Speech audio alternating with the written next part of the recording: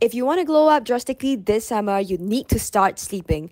I used to think sleeping is for the weak, sleep when you're dead, but no, there's typically a 200% risk in cardiovascular issues if one sleeps less than 6 hours on average.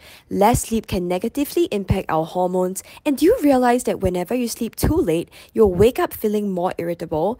Women will experience symptoms like anxiety, depression when there's a lack of sleep. Here's some tips to optimize your sleep score. Take magnesium and and ashwagandha supplements before bed, and this is recommended by my gynecologist because magnesium helps you with relaxing your body and all the tension.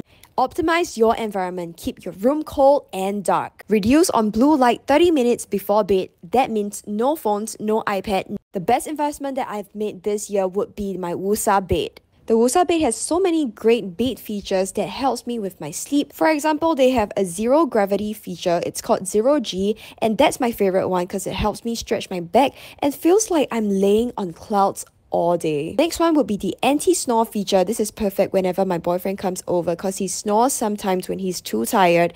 And this feature makes him not snore anymore, which is amazing. If you don't like these features, you can also adjust the positions according to what you like. And I like to have my legs raised up. My legs are always so swollen after like the strenuous activity. So if you want to get better sleep and glow up from inside out, get your Woosa bed right now.